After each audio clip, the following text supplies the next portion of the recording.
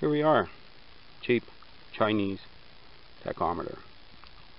And uh, I'm going to give this a try. And uh, see how it works.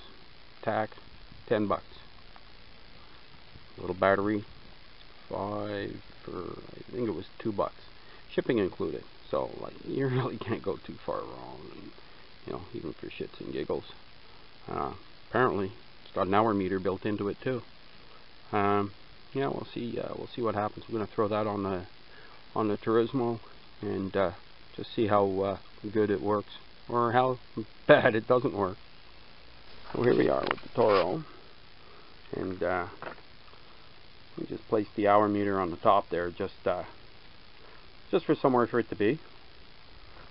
And uh, down here, as per their recommendation, you just uh, wrap the black lead four times around the spark plug wire.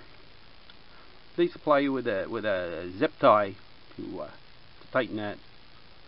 But uh, cheap me, I just used uh, some uh, some white electrical tape. Uh, it's just for testing anyway, so what the heck. So yeah, that's all you have to do, and we'll uh, spark up the bike, and we'll we'll see what she has to say for herself.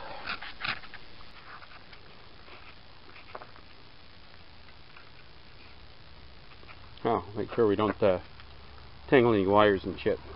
Okay. Just uh, start up the bike.